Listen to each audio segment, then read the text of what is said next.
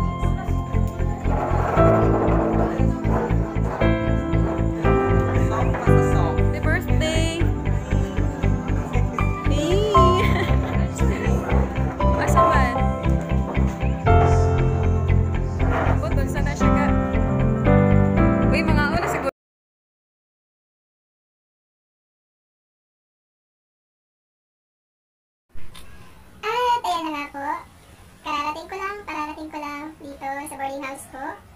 Ah, galing po tayo sa birthday party ng kasamahan ko sa work, kay Noel. Ah, ga, salamat pala sa pag-imbita sa amin um, sa birthday mo. Actually, di ko talaga um, in-expect na magiging ganun yung biyahe namin na magiging 2 hours. So like, kanina nung sa intro, sa intro ko, ah, like hapon pa yon and then dumating kami sa inyo gabi na. Anyway, it was ah, parang ano man, um, parang layo man ng biyahe namin pero worth it yun. Ah, salamat pala sa pa-foods. Yun. At saka, bongga ng party mo ga. Happy 18th birthday party, girl. Charit. Um, isa lang masasabi ko sa iyo. Um, proud ako kasi you stand for what you really want. At proud ako sa LGBT. Yun. Um, pagpatuloy niyo lang. Ah, pagpatuloy mo lang kung saan ka masaya. Marami pang birthday na darating sa'yo. Sana, parati ka pang i-bless ni God ka para magpasaya mo kami. Um, di mo lang alam na lahat kami sa team siguro, pero, pero para sa akin, um, kami sa team napapasaya mo. Kaya, sana i-bless ka pa ni Lord. Ayun.